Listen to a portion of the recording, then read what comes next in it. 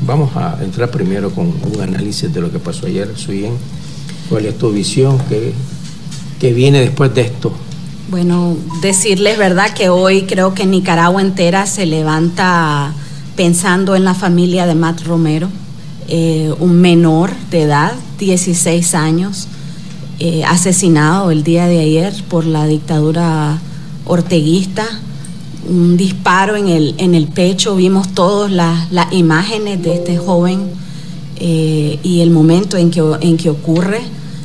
No hubo tal fuego cruzado, lo que ocurrió ayer fue, fue, otra, fue otra masacre en realidad, en donde paramilitares, antimotines enviados por la dictadura orteguista asediaron cuando vieron que la gente aún seguía decidida a continuar marchando, procedieron a, disparar con AK. Eh, hay testigos que hablan de AK y hay, están ahí las imágenes y los videos.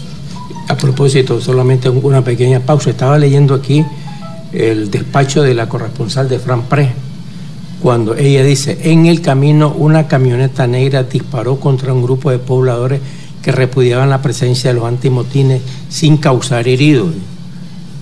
Yo lo presencié, digo la periodista. Ella miró eso, ella miró que dispararon, no hubo heridos ahí, pero lógicamente de otros vehículos dispararon. sí, dispararon a una población desarmada, a una población que lo único que llevaba era su bandera azul y blanco, como hemos llevado en, todos los, en todas las marchas, y la convicción de que Nicaragua tiene que ser libre. Eso es lo que se llevaba ayer. Ayer no había ningún fuego cruzado.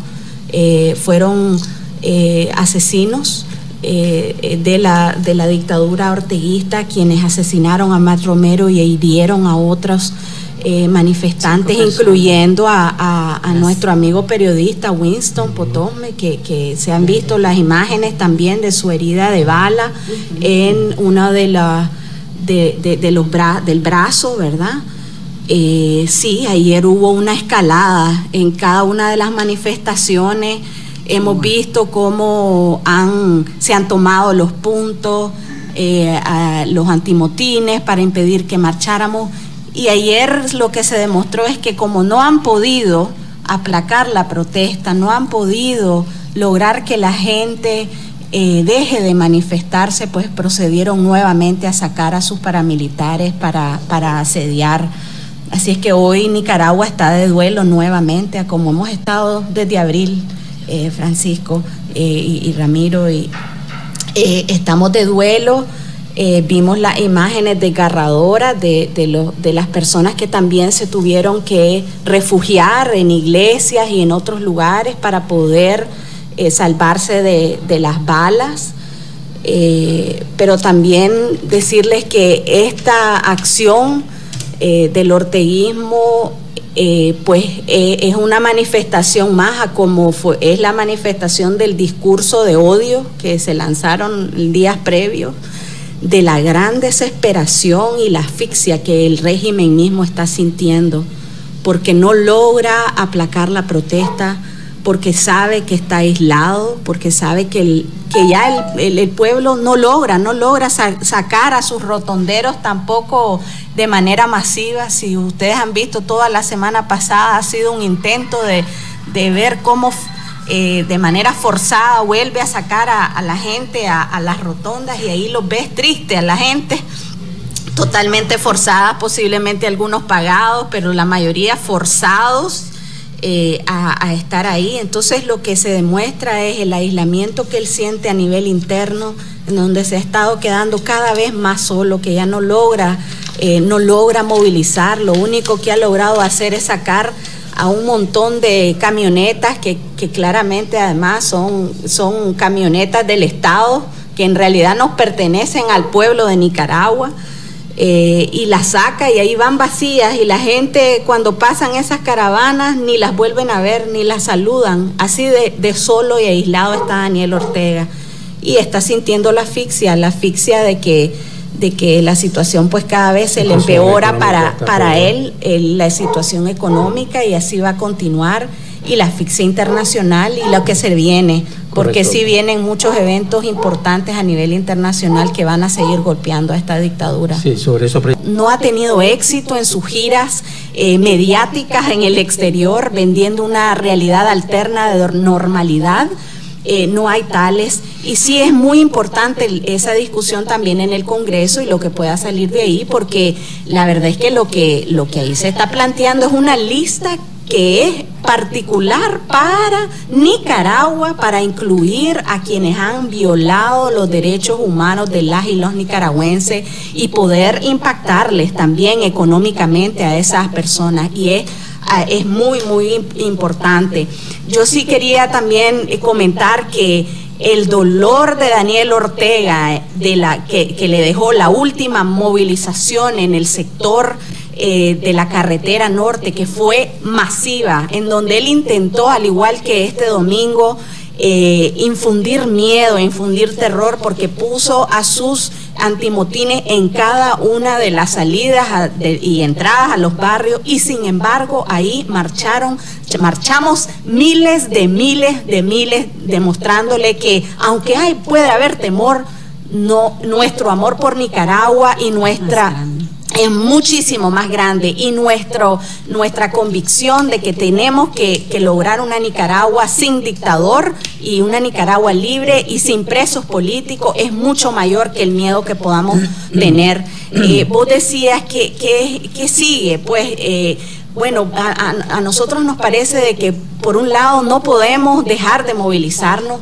cuando hablas con los familiares de los presos políticos, cuando hablamos con nuestros amigos que son presos políticos, lo que ellos están demandando es que continuemos movilizados y hay muchas formas de continuar movilizados y en protesta. Creo que es muy importante seguir en las calles eh, a pesar del asedio pero también hay otras, otras, otra gama de, acciones que tenemos que desarrollar y aquí lo más importante es desarrollarlas unidos y en conjunto. Yo creo que la reacción de este domingo y ese discurso virulento también tiene que ver con que Daniel Ortega sabe que en diversos sectores, desde movimiento político hasta organizaciones sociales, hasta la alianza misma, estamos en un proceso de, búsqueda de unidad, de búsqueda de, mayor articulación en las acciones, en la estrategia y en lograr la salida de Daniel Ortega. Él sabe que hay un consenso claro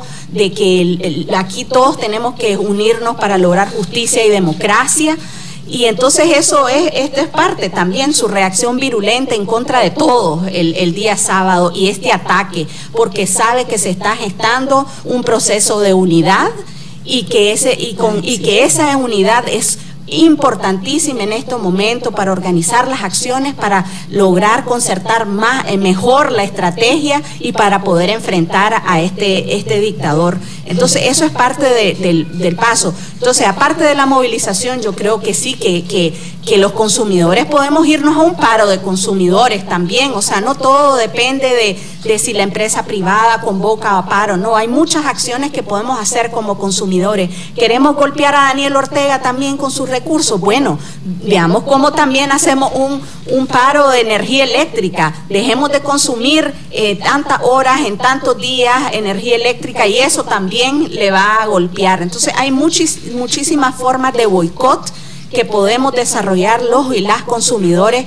que le van a seguir golpeando a Daniel Ortega. Y mantenernos en las calles es fundamental. Él está acorralado, lo sabe, y esa reacción de violencia tiene que ver con el sentido de que él sabe que no tiene opción, que tiene que salir del poder. Esa es la demanda nacional e internacional. Sí, eh, con sí yo decirles que comparto plenamente lo que decía la, una de las señoras que llamó, que el poder está en nosotros. Eh, nosotros, eh, cada uno de los nicaragüenses, los y las autoconvocadas en este proceso, eh, fuimos los que logramos que en efecto Daniel Ortega se sentara, que Daniel Ortega esté en este momento acorralado. A veces el dolor y la indignación eh, pues nos invade y, de repente creemos que, en efecto él es el que está, está fuerte, pero en realidad no es así.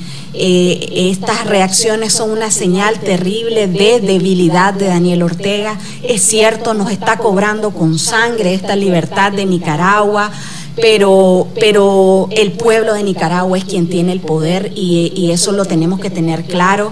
Eh, a mí me parece que la semana pasada eh, hubo un encuentro, ¿verdad?, de la Alianza Cívica y de muchísimos, como alrededor de 25 diferentes grupos, movimientos, organizaciones, en donde se acordó que uno que íbamos a, coordinarnos más para continuar la lucha cívica y pacífica, para lograr la libertad de las presas y presos políticos, para articular la movilización territorial y nacional, para denunciar a nivel internacional y se dejó bien claro de que había que sumar y sumar y sumar a más movimientos y actores que estamos en resistencia. Eh, ese es el reto en este momento.